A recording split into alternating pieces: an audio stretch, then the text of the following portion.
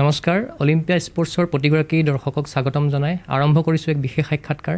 আজি মোৰ লগত উপস্থিত আছে মনালিছা বৰুৱা মেহতা বাইদেউ। উত্তৰ পূৰ্বাঞ্চলৰ প্ৰথমগৰাকী অৰ্জুন বঁটা বিজয়ী মহিলা খেলুৱৈ। তেখেত হ'ল ৰাষ্ট্ৰীয় তথা আন্তঃৰাষ্ট্ৰীয় পৰ্যায়ত জুনিয়ৰ ছাব জুনিয়ৰ ছিনিয়ৰ পৰ্যায়ত টেবুল টেনিছ প্ৰতিযোগিতাত বা টেবুল টেনিছ ক্ষেত্ৰখনত বিগত সময় ধৰি বিভিন্ন ধৰণৰ পাৰদৰ্শিতা অৰ্জন কৰিবলৈ সক্ষম হৈছিল। তেখেতক মই আমাৰ বিশেষ সাক্ষাৎকাৰলৈ স্বাগতম জনাইছোঁ। নমস্কাৰ। প্ৰথমে আপুনি এই টেবুল টেনিছৰ ক্ষেত্ৰখনলৈ কিদৰে আগবাঢ়ি আহিবলৈ? একচুৱেলি তেতিয়া সেইখিনি সময়ত মোৰ দেউতা মাহঁতে বহুত স্পৰ্টছ মাইণ্ডেড আছিলে আৰু চব খেলেই জইন কৰিব দিছিলে। প্ৰথমতে মই টেবুল টেনিছ খেলা নাছিলোঁ। প্ৰথমতে বেডমিণ্টন দৌৰ মানে এথলেটিক্সত আৰু বিহুত যেনেকৈ চব পাৰ্টিচিপেশ্যন হয় সেইবিলাক চব পাৰ্টিচিপেট কৰিছিলোঁ বিহুত। দৌৰ লং জাম্প চবতে। তাৰপিছত মই যেতিয়া মই যেতিয়া ছামাৰ ভেকেশ্যন হয় স্কুলৰ তেতিয়া আমি মই নগাঁৱত যাওঁ মোৰ ককা দেউতাৰ ঘৰত। তাতে মোৰ মাহীয়ে টেবুল টেনিছ খেলিছিল মানে মাৰ খুৰাৰ ছোৱালী। তেতিয়া সেনেকৈ তেওঁ ডিষ্ট্ৰিক্ট চেম্পিয়ন আছিল মিনতী শৰ্মা বুলি। তেতিয়া তেওঁৰ সেই সেনেকৈয়ে মই টেবুল টেনিছটো আৰম্ভ কৰিলোঁ। তাত ভেকেশ্যনত যাওঁতে সদায় আমাৰ ছামাৰ ভেকেশ্যন হ'ল নগাঁৱত আমাৰ ককা আইতাৰ ঘৰত যোৱা। আৰু তাতে টেবুল টেনিছটো প্ৰথম আৰম্ভ কৰিছিলোঁ। ঘৰৰ পৰা আপোনাৰ কেনেকুৱা আছিলে সহযোগিতা? ঘৰৰ পৰা সাংঘাতিক সহযোগিতা আছিল। কাৰণ মোৰ দেউতা তেওঁ নিজেই স্পৰ্টছ ফুটবল প্লেয়াৰ আছিলে। আৰু প্ৰথম অসমৰ ভলীবলৰ ছেক্ৰেটৰী আছিলে ভলীবল গেমৰ আৰু তেওঁক বহু চিটি গ'লকিপাৰো আছিলে ফুটবলৰ সেইকাৰণে আৰু মাও মানে মিউজিকত আছিলে। আৰু সেইকাৰণে গোটেই ফেমিলিটোৱে আমাৰ স্পৰ্টছ হেৰি আছিল। আৰু মোক সকলো ক্ষেত্ৰতে মা মই য'তেই খেলিব যাওঁ মোৰ মা লগতে যায় ট্ৰেভেল কাৰণ তেতিয়া ট্ৰেভেলিংটো ইমান ইজি নাছিলে অলপ ডিফিকাল্ট আছিল ট্ৰেইনত তিনি তিন তিনিদিন যাব লাগে। সেনেকৈ বহুত কষ্ট আছিলে। তেতিয়া মই মা সকলোকে আজি ধন্যবাদ জনাইছোঁ যাতে মোৰ খুৰাৰ পৰা আৰম্ভ কৰি মোৰ গোটেই ফেমিলিটোৱে বহুত এনকাৰেজ কৰিছে। আপুনি ৰাষ্ট্ৰীয় পৰ্যায়ত ইন্দুপুৰী নন্দিনী কুলকাৰ্ণী কাশ্মীৰা পেটেলৰ দৰে দুৰ্দান্ত খেলুৱৈক পৰাস্ত কৰিছিলে এটা সময়ত। সেই সময়ত ৰাষ্ট্ৰীয় সংবাদ মাধ্যমত বা ক্ৰীড়া মহলত কেনেকুৱা ধৰণৰ চৰ্চিতা হৈছিলে আপোনাক লৈ পেলাই? সেইটো আছিলে সকলোৱে খুব আচৰিত হৈছিল কাৰণ তেতিয়া মই ছাব জুনিয়ৰ আছিলোঁ আৰু অস তেতিয়া মানে ছাব জুনিয়ৰ জুনিয়ৰ ছিনিয়ৰ একেলগে নেশ্যনেলছ হৈছিলে আন্তঃৰাষ্ট্ৰীয় খেলা। তেতিয়া সেইকাৰণে যেতিয়া মই ছাব জুনিয়ৰত চেম্পিয়ন হৈছিলোঁ তেতিয়া টিমছত গাৰ্লছতো খেলিছোঁ। আমাৰ অসমৰ হৈ পাঁচ বছৰ ধৰি কণ্টিনিউৱাছ আমি পদ্মাৱতী ট্ৰফিটো আনিছোঁ। আৰু তাৰপিছতে উইমেনছতো খেলিব লগা হৈছিল। ই উইমেনছত তেতিয়া সেই ইন্দুপুৰী নন্দিনী কুলকাৰ্ণী চব মহাৰাষ্ট্ৰৰ ডাঙৰ ডাঙৰ প্লেয়াৰবিলাকক সেইটো বছৰতে মই হৰুৱাইছিলোঁ। সেইটো এটা ডাঙৰ মানে টাৰ্ণিং পইণ্ট মানে মোৰ কেৰিয়াৰৰ কাৰণে বছৰ। জুনিয়ৰ ছাব জুনিয়ৰ ছিনিয়ৰ এই সকলোবিলাক বিভাগতে আপুনি নেশ্যনেল চেম্পিয়ন হৈছিলে কেইবাবাৰো আৰু ইয়াৰ ভিতৰত আপোনাৰ আটাইতকৈ মেমৰিয়েল ভিক্টৰী স্মৰণীয় বিজয় কোনটো আছিলে আপোনাৰ? স্মৰণীয়টো মই ক'ম নাইনটিন এইটি ফাইভ ভূপালত হৈছিলে। স্মৰণীয় এইটো কাৰণেই কাৰণ টিমছতো মই আমি জয়লক্ষ্মী ট্ৰফি উইমেনছ অসমৰ কাৰণে প্ৰথমবাৰৰ বাবে আমি লৈ আহিছিলোঁ। আৰু লগতে মই গোটেই চেম্পিয়নশ্বিপখনতে আনবিটেন আছিলোঁ। মিক্স ডাবলছতো চেম্পিয়ন আছিলোঁ ডাবলছতো চেম্পিয়ন আছিলোঁ ছিংগলছতো আৰু টিমছ ইভেণ্ট সেইকাৰণে সেইটো বহুত স্মৰণীয় বুলি ভাবোঁ। যিহেতু আপুনি এছিয়ান গেমছত দুবাৰকৈ ভাৰতীয় দলক প্ৰতিনিধিত্ব কৰিছিলে ইয়াৰ লগতে আপুনি নেতৃত্ব প্ৰদান কৰিছে। গতিকে এছিয়ান গেমছৰ কিছু অভিজ্ঞতা আপুনি ক'ব নেকি? এছিয়ান গেমছ খুব ভাল লাগিল কাৰণ এছিয়ান গেমছ এটা ডাঙৰ গেম হয়। আৰু তাত আমি খেলিব পাই পেলাই খুব হেৰি হৈছিলে দিল্লীত হৈছিলে প্ৰথমতে। তাৰপিছত চিঅলত হৈছিল নাইনটিন এইটি এইটত। সেইটো এটা বেলেগ এক্সপিৰিয়েঞ্চ যোনটো হয়। সেইটো খুব ডাঙৰ আৰু তাত ভাল লাগিল খেলি। কিন্তু এছিয়ান গেমছ আমাৰ কাৰণে টেবুল টেনিছ বিভাগত বহুত কম্পিটিশ্যন থাকে। কাৰণ আমাৰ এছিয়ানতে চাইনা জাপান চব আহি যায়। যোন টেবুল টেনিছত একদম নাম্বাৰ ওৱান সেইকাৰণে বহুত আমাৰ টাফ কম্পিটিশ্যন থাকে সেইটোৰ কাৰণে। বিগত সময়ত আপুনি বহু ৰাষ্ট্ৰীয় তথা আন্তঃৰাষ্ট্ৰীয় পৰ্যায়ত আপুনি টেবুল টেনিছ খেলিছিলে। আপোনাৰ ক্ৰীড়া জীৱনৰ আটাইতকৈ স্মৰণীয় মুহূৰ্ত বুলি যদি সোধোঁ আপোনাক কি ক'ব আপুনি? স্মৰণীয় এটাটো খেলাৰ কথা ক'লোঁ আৰু এটা হ'ল অৰ্জুন বঁটা যেতিয়া এনাউন্স কৰিছে সেইটো মই সেইদিন সেইটো বছৰ উজ্জয়নত ইন্দোৰত খেলিছিলোঁ ৱেষ্টাৰ্ণ ইণ্ডিয়া খেলি আছিলোঁ। আৰু তেতিয়া সেইখিনি সময়ত মই আবেলি মন্দিৰত গৈ পেলাই উভতি যেতিয়া আহিছোঁ তেতিয়া চ সকলো মানে প্লেয়াৰ্ছবিলাক ৰাস্তাত ৰখি আছে আৰু মই যেতিয়া গৈ পাইছোঁ মোক কৈছে কংগ্ৰেচুলেশ্যনছ তুমি অৰ্জুন বঁটা পাইছা এতিয়া টিভিত নিউজটো দিছে। সেই সেইখিনি সময় কেতিয়াও পাহৰিব নোৱাৰি। সেইটো এটা ডাঙৰ মমেণ্ট সেইটো এক্সপ্ৰেছ এক্সপ্ৰেছ কৰিব নোৱাৰি সেইটোৱে প্ৰথমগৰাকী মহিলা আছিলে খেলুৱৈ হিচাপে হয় হয়। এসময়ত নন্দিনী বৰুৱা মনালিছা বৰুৱা মদালিচা মদালিচা হাজৰিকা অৰুণজ্যোতি বৰুৱা কাৰ্ফিউ ৰয় আদিৰ দৰে খেলুৱৈয়ে দবদবাই আছিলে টেবুল টেনিছ ক্ষেত্ৰখনত। কিন্তু বৰ্তমান সময়ত তেনেকুৱা ধৰণৰ হয়তো মানে পৰিৱেশ দেখা পোৱা নাই। এই সোণালী দিন আকৌ ঘূৰি আহিবনে? কি ভাবে আপুনি? সোণালী দিন ডেফিনেটলি আহিব। আৰু আমাৰ আগতে নন্দিনী বৰুৱা আৰু মীনা বৰা দুজনেই আছিল খুব ভাল খেলুৱৈ। আৰু তেওঁলোকে তেতিয়া নাইনটিন ছেভেণ্টি থ্ৰীত তেওঁলোকে পদ্মাৱতী ট্ৰফিটো লৈ আহিছিলে। তাৰ পিছতে মই আৰু মদালচা হাজৰিকা বৰুৱা আমি একেলগে খেলি পেলাই পাঁচ বছৰ ধৰে কণ্টিনিউৱাছ জিকিছোঁ। আৰু আমাৰ বহুত প্লেয়াৰ আছে সেনেকৈ উঠি অহা। আৰু আমি যেতিয়া উঠি আহিছিলোঁ সেইখিনি সময়ত মানে এটা বাঞ্চ অফ প্লেয়াৰ্ছ আছিলে। মানে বহুত অৰুণজ্যোতি বৰুৱা আছিলে ৰাহুল দত্ত আছিল কাৰ্ফিউ ৰয় আছিল মিতা সিনহা ৰয় গাৰ্লছত পিছত আহিছে বহুত প্লেয়াৰ উঠি আহিছিলে। সেইকাৰণে আমাৰ গীতাক্ষী হাজৰিকা আছিলে বহুত আমাৰ জুনিয়ৰ প্লেয়াৰ সেইখিনি সময়ত আমাৰ কোচো খুব ভাল আছিলে সেইখিনি সময়ত মিষ্টাৰ নিহাল সিং ঠাকুৰ বুলি সেইখিনি সময়ত আমাৰ ফিজিকেল ফিটনেছৰ ওপৰত বহুত গুৰুত্ব দিছিল। সেইকাৰণে আমাৰ প্লেয়াৰবিলাক একেলগে বহুত ইম্প্ৰুভ কৰিছিল আৰু প্ৰেক্টিছ আৱাৰ্ছ আমি বহুত কৰিছিলোঁ তেতিয়া। বৰ্তমান সময়ত সুদক্ষ প্ৰশিক্ষকৰ অভাৱ নেকি বৰ্তমান? অসমৰ যদি প্ৰেক্ষাপটত চাবলৈ যায় একচুৱেলি ক'ব? গ'লে গেমটো এতিয়া বহুত চেঞ্জ হৈছে। আমি যোনটো আমি যেতিয়া খেলি আছিলোঁ এতিয়া ৰাবাৰো চেঞ্জ হৈছে লগত ৰাবাৰৰ যোনটো গ্লু থাকে সেইখিনি চেঞ্জ হৈছে বলৰ চাইজ চেঞ্জ হৈছে গেমৰ যোনটো আমাৰ টুৱেণ্টি ওৱান পইণ্টছৰ আছিলে এতিয়া ইলেভেন পইণ্টছ হ'ল তাৰমানে আমাৰ কুইক থিংকিংটো এতিয়া খুব দৰকাৰ।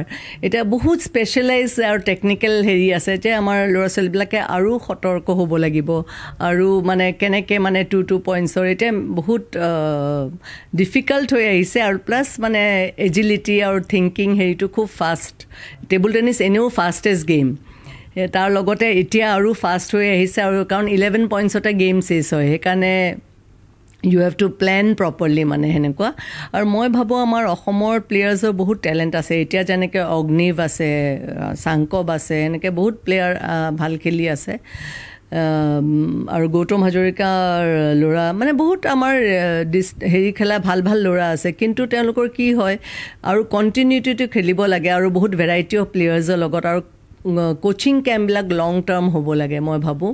তেতিয়া তেওঁলোকৰ ভাল হ'ব বুলি। আৰু বহুত আছে সেইখিনি এতিয়া এইখিনিতে ক'ব নোৱাৰিম বহুত মেটাৰ আছে। কিন্তু জাষ্ট ব্ৰিফলি মানে তেওঁলোকে নিজেই কষ্ট কৰিব লাগিব। আমি দেখিছোঁ লাভলীনা গোলাঘাটত থাকি পেলাই ফাৰ্ষ্ট টাইম অলিম্পিক খেলি পেলাই তাই ব্ৰঞ্জ মেডেল লৈ আহিছে। তাই এইটো এটা বিশ্বাস দিছে সকলোকে যে একো ইম্পচিবল নহয়। যদি আমাৰ নিজৰ ভিতৰত পেচেণ্ট থাকিব লাগিব ডিটাৰমিন ডিটাৰমিনেশ্যন থাকিব লাগিব। আৰু তাৰ লগত বাকীবিলাক পিছত আহে। প্ৰথম হ'ল নিজৰ ইচ্ছা যে মই কৰিম। আৰু সেইটোৰ কাৰণে মই কেনেকৈ আগবাঢ়ি আগবাঢ়ি যাব লাগিব সেই ফ'কাছটো থাকিব লাগিব আৰু প্লেনিং অসমত আন্তঃগাঁথনি টেবুল টেনিছৰ ক্ষেত্ৰত উন্নতি উন্নতি কৰিবৰ কাৰণে কিবা প্ৰয়োজনীয় ব্যৱস্থা গ্ৰহণ কৰাৰ প্ৰয়োজনীয়তা আছে নেকি? হয় আছে। মই মাজতেও বহুতবাৰ আহিছিলোঁ সেইটোৰ কাৰণে। কাৰণ আমাৰ কি হয় আমি এতিয়া U T T ultimate table tennis league এটা গোটেই ভাৰতবৰ্ষত কৰিছোঁ। সেইটোৰ ফলত আজি মডালেছেও মোক কথা পাতি আছিলোঁ আমি যে তেতিয়া কৈছিলে যে ইউ টি টিৰ কাৰণে আজি এই মণিকা বাত্ৰা এওঁলোকে ইমান ভাল পাৰফৰ্মেঞ্চ কৰিছে।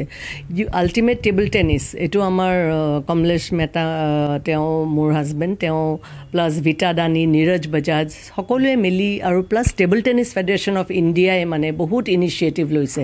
তেওঁলোকে আমাৰ প্লেয়াৰবিলাকক বহুত বাহিৰত পঠাইছে ট্ৰেইনিঙৰ কাৰণে। প্লাছ আমাৰ ইউ টি টি তেওঁলোকে সকলোৱে মিলি পেলাই এই U T T ultimate table tennis league যেনেকৈ ক্ৰিকেট লীগ হয় সেনেকৈ তিনি বছৰ ধৰি আমি কৰিছিলোঁ। এইখিনি বছৰতে মানে ল'ৰা ছোৱালীৰ মই ইম্প্ৰুভমেণ্টটো বহুত দেখা পাইছোঁ। কাৰণ তেওঁলোকে তেইছ দিন মানে নিয়েৰলি ওৱান মান্থ একেলগে বহুত ভেৰাইটি অফ প্লেয়াৰ্ছৰ লগত খেলিব পাৰে প্ৰেক্টিছ কৰে একেলগে ৰাতিপুৱাৰ পৰা ৰাতিলৈকে একেলগে থাকে। সেইটো যোনটো এটমছফিয়াৰ সেইটো তেওঁলোকৰ নিজৰে বিল্ড আপ হৈছে যে আমি এওঁলোকক হেৰুৱাব এওঁলোক একো ডিফাৰেণ্ট নহয় আমি চব একেই। সেইকাৰণে এই মেণ্টেল ষ্ট্ৰেংথটো মানে বহুত হেল্প কৰিছে তেওঁলোকক। আৰু তাৰ পিছৰ পৰাই আমি দেখিব পাৰিছোঁ যে প্লেয়াৰ্ছবিলাকে বহুত ইম্প্ৰুভ কৰিছে আৰু ইভেন মানে চব গেমছত জিকিছে। সেইটো এটা প্লাছ পইণ্ট আপুনি বৰ্তমান কেন্দ্ৰীয় চৰকাৰত টপছৰ এগৰাকী নিৰ্বাচক হয় আপুনি? হয় টপছৰ তাৰোপৰি ভাৰতীয় টেবুল টেনিছ ফেডাৰেশ্যনৰ উপ সভাপতি দায়িত্বটো আছে বৰ্তমান টেবুল টেনিছৰ উন্নতি কৰিব কিবা আছে নেকি প্ৰয়োজনীয় আন্তঃগাঁথনিৰ ক্ষেত্ৰত? সেইটোতো আমি কৰি আছোঁ এনেকৈ লীগ আৰু প্লাছ এই আৰু অসমতো মই ভাবিছোঁ যে আমি যেনেকৈ লীগ কৰিব পাৰোঁ যদি ষ্টেট লীগ কৰোঁ আমাৰ বহুত প্লেয়াৰ্ছ ওলাব সেনেকৈ আৰু আমাৰ লগতে কোচবিলাকো আগবাঢ়ি আহিব। কি হয় আমি এতিয়া বাহিৰৰ পৰা কোচ আনো কিন্তু বাহিৰৰ কোচ আমি কিমান দিন ৰাখিব পাৰিম? বাহিৰৰ কোচ আহি পেলাই যদি আমাৰ লোকেল কোচক ট্ৰেইনিং কৰে তেতিয়া আমাৰ লোকেল কোচখিনিও আপডেট হ'ব। আৰু নতুন নতুন টেকনিকবিলাক শিকি থাকিব আৰু মাজে মাজে ৰিভিউবিলাকো হৈ থাকিব লাগে। তেতিয়া তেওঁলোকৰ অলপ সতৰ্ক হৈ থাকিব যে মোক কোনোবাই চাই আছে ওপৰত। যে সেনেকৈ সেনেকুৱা এটা ডিভিজন কৰি ল'লে। আৰু তেতিয়া মই ভাবোঁ যে আমাৰ ভাল হ'ব। আৰু অসমত আমাৰ বহুত ইচ্ছা আছিল আমি চেষ্টা কৰি আছিলোঁ। এতিয়াও কৰি আছোঁ। সেইকাৰণে চাওঁ যদি ষ্টেট লীগ কৰিব পাৰোঁ। তেতিয়াহ'লে মই ভাবোঁ যে আমাৰ অসমৰ গোটেই ষ্টেটৰ মানে অসমৰ ষ্টেটটো খুব ভাল হ'ব লীগ হেৰিটো। আমাৰ প্লেয়াৰবিলাকো বাঢ়িব আমাৰ অসমৰ প্লাছ কোচো আহিব আৰু যোনবিলাকে এনকাৰেজ কৰিব তেওঁলোকেও সকলোৱে এটা বেনিফিট পাব। সুন্দৰ অভিজ্ঞতাৰ বিষয়ে ক'লে। আপুনি এটা যদি তিতা অভিজ্ঞতাৰ বিষয়ে কয় দৰ্শকসকলক কি ক'ব? কেনেকুৱা তিতা সেনেকৈ নকওঁ। মই একচুৱেলি আমাৰ অলিম্পিক আৰম্ভ হৈছে এশ পঁচিছ বছৰ হৈ মানে হৈ গ'ল। কিন্তু টেবুল টেনিছ ইনক্লুড হৈছে নাইনটিন এইটি এইটত টেবুল টেনিছ আৰু বেডমিণ্টন বহুত দেৰিকৈ ইনক্লুড হৈছে। আৰু সেইখিনি সময়ত নাইনটিন এইটি এইটত মোৰ এটা চান্স আছিল যোৱাৰ। মই নাম্বাৰ টু আছিলোঁ।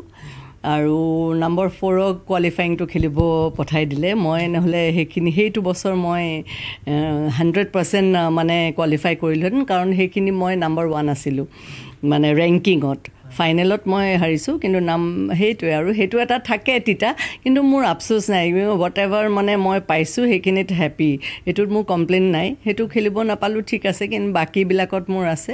খালি এইটো তিতা মুহূৰ্ত সুধিলে কাৰণে মই ক'লোঁ কিন্তু মোৰ কোনো হেৰি নাই আফচোচ নাই। অলিম্পিক খেলুৱৈৰ মূল লক্ষ্যটো কি হোৱা উচিত একচুৱেলি আপুনি যিহেতু এগৰাকী প্ৰবীণ খেলুৱৈ কি ক'ব?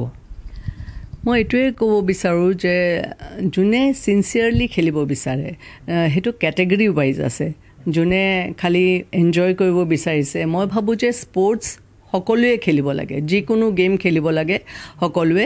কিন্তু সকলোৱে জিকিব নোৱাৰে। যেনেকৈ আমি স্কুলত চবেই যাব লাগে। স্কুলত আমি চবেইতো নাম্বাৰ ওৱান নহয়। সেইকাৰণে মই ভাবোঁ যে পেৰেণ্টছেও ল'ৰা ছোৱালীক এনকাৰেজ কৰিব লাগে খেলিবৰ কাৰণে। আৰু তাৰ লগতে মেইন হ'ল পেশ্যন নিজৰ পেশ্যন থাকিব লাগিব নিজৰ ছেক্ৰিফাইচ কৰিব লাগিব যে মই আজি ফুৰিব নাযাওঁ মই আজি সেইখিনি সময় খেলিবলৈ দিম। বহুত ছেক্ৰিফাইচেছ আছে আৰু ফ'কাছ আৰু time planning well well plan কৰিলে একো প্ৰব্লেম নাই। নিজে ৱেল প্লেন প্লেন হ'ব লাগিব। কাৰণ আমাৰ এতিয়া Satyen Ganesan he is a world rank player কিন্তু তেওঁ আজি ইঞ্জিনিয়াৰ হয় ভাল ইঞ্জিনিয়াৰ আৰু তেওঁ পঢ়াটো মেৰিটৰিয়াছ ষ্টুডেণ্ট তেওঁ সেনেকৈ ৱৰ্ল্ড ৰেংকত হৈ পেলাই এইটো আজি এইটো পজিশ্যন পাইছে। তাৰমানে everybody can do it it is only a matter of time planning focus আৰু মানে হাৰ্ড ৱৰ্ক এতিয়া ভাৰতবৰ্ষত যোনটো টপ স্কিম আছে সেইটো ইমান প্লেয়াৰ্ছৰ কাৰণে সুবিধা হৈছে সেইটো বুজাব নোৱাৰোঁ। মানে সেইটো is a it's a blessing মানে। আমাৰ সকলো প্লেয়াৰে সুবিধা পাই আছে সেইটো কাৰণে। তেওঁলোকৰ স্পেৰিং পাৰ্টনাৰ লৈ যায় সেইটোতো গভৰ্ণমেণ্টে দি আছে। তেওঁলোকৰ নিজৰ কোচ লৈ যায় ট্ৰেইনিং য'ত কৰিব লাগে। আজি এইখিনি আগতে পচিবল নাছিল। এতিয়া এইটো হোৱাৰ কাৰণে আমি মই মানে খুব ভাল লাগিছে যে আমাৰ প্লেয়াৰ্ছবিলাক ইমান সোনকালে সোনকালে ওপৰলৈ গৈছে। আৰু ইয়াৰ পিছতো তেওঁলোকে বহুত চেষ্টা চলাই আছে যে প্লেয়াৰ্ছক কেনেকৈ উন্নতি কৰিব পাৰে। সেইকাৰণে এতিয়া মানে ফুল প্ৰফেচনেলিজিম হেৰিটো আহি পৰিছে আৰু মেনেজমেণ্টটো আৰু প্লেয়াৰ যে এতিয়া ৰেমুনেশ্যন যোনটো পাই আছে সেইটো এটা ডাঙৰ কথা। সেইটো আপুনি ৰাষ্ট্ৰীয় তথা আন্তঃৰাষ্ট্ৰীয় পৰ্যায়ত বহু মেচ আপুনি খেলিছে। আপুনি যেতিয়া আন্তঃৰাষ্ট্ৰীয় পৰ্যায়ত খেলিবলৈ যায় যেতিয়া আপোনাৰ ভাৰতৰ প্ৰতিনিধিত্ব কৰে আপুনি বিজয়ৰ মুহূৰ্তক কেনেকুৱা আপোনাৰ কেনেকুৱা এটা অনুভূতি জাগি উঠে সেই মুহূৰ্তত? সেইখিনি সময়ত খুব মানে ফ'কাছ প্লাছ টেনশ্যনো থাকে। কাৰণ জিকিব লাগিব জিকিব লাগিব এনেকুৱা যিমানখিনি পাৰোঁ আমি ভাৰতৰ কাৰণে জিকিব লাগিব। আৰু কমনৱেলথ চেম্পিয়নশ্বিপছ আমাৰ ইণ্ডিয়াত হৈছিল বম্বেত নাইনটিন এইটি টু তেতিয়া জাষ্ট জুনিয়ৰ ক্ৰছ কৰি মই ছিনিয়ৰ্ছত আহিছোঁ। আৰু সেইটো বছৰ আমি কমনৱেলথ চেম্পিয়নশ্বিপত ব্ৰঞ্জ মেডেল পাইছিলোঁ। সেইটো এটা ডাঙৰ মানে কথা। কাৰণ কমনৱেলথ চেম্পিয়নশ্বিপত টাফ কম্পিটিশ্যনো আছিলে। কিন্তু আমি ভালকৈ জিকি পেলাই তাত ব্ৰঞ্জ মেডেল পালোঁ। সেইটো খুব ভাল লাগিল। আৰু লগতে নাইনটিন এইটি ফাইভত কমনৱেলথ চেম্পিয়নশ্বিপত আমি ব্ৰঞ্জ মেডেল পাইছিলোঁ উইমেন্স টীমে সেইটো এটা নৱপ্ৰজন্মৰ এতিয়া বহুতো খেলুৱৈ টেবুল টেনিছত ওলাইছে তেখেতসকল। এতিয়া আপোনাৰ দৃষ্টিত তেনেকুৱা ধৰণৰ কিবা নৱপ্ৰজন্মৰ নাম আপুনি ক'ব বিচাৰিব নেকি এই মুহূৰ্তত? নামটো বহুতেই আছে। এতিয়া এজনৰ নাম ল'লে বেয়া হ'ব সেইকাৰণে এতিয়া যোনখিনি প্লেয়াৰ এতিয়া অসমৰ ফাৰ্ষ্ট টু টেনৰ ভিতৰত আছে সকলোৱে ভাল খেলি আছে। মই তেওঁলোকৰ ইনডোৰত এতিয়া খেলো ইণ্ডিয়াৰ এখন মেটচ হৈছিলে তাত চাইছিলোঁ। তেওঁলোকে খুব ভাল খেলি আছে তাত। আমাৰ অসমৰ দুজন তিনিজন ল'ৰা চাব জুনিয়ৰ জুনিয়ৰ খুব ভাল খেলি আছে। যেনেকৈ মই ক'লোঁ অগ্নিপ আছে চাংকব আছে আৰু এজনৰ নাম এতিয়া মই এনেকৈ পাহৰিলে দিগদাৰী হ'ব পটকৈ সুধিলে মনত নাথাকে কেতিয়াবা। কিন্তু আমাৰ চাৰিজন পাঁচজন খেলুৱৈ খুব ভাল আছে। এটা সময় আছিল খেলক ঘৰৰ পৰা ছাপোৰ্ট কৰা নাছিলে এটা সময় আছিল তেনেকুৱা। এতিয়া আপোনাৰ দেখা পাইছে এতিয়া বহুত ছাপোৰ্ট কৰে ঘৰুৱা মানুহে বা অভিভাৱকসকলে কি ক'ব সেইটোৱে মই ক'ব বিচাৰিছোঁ। নাইণ্টি টুৰ আগত মানে সকলো পেৰেণ্টছে সেইটোৱে মই ক'লোঁ যে তেওঁলোকে মানে ভাবে যে এতিয়া ক্লাছ নাইন টেনত আমাৰ প্ৰেছাৰটো পৰি যায় কাৰণ মেট্ৰিক আহে পঢ়িব লাগিব তাৰপিছত কলেজ যাব লাগিব।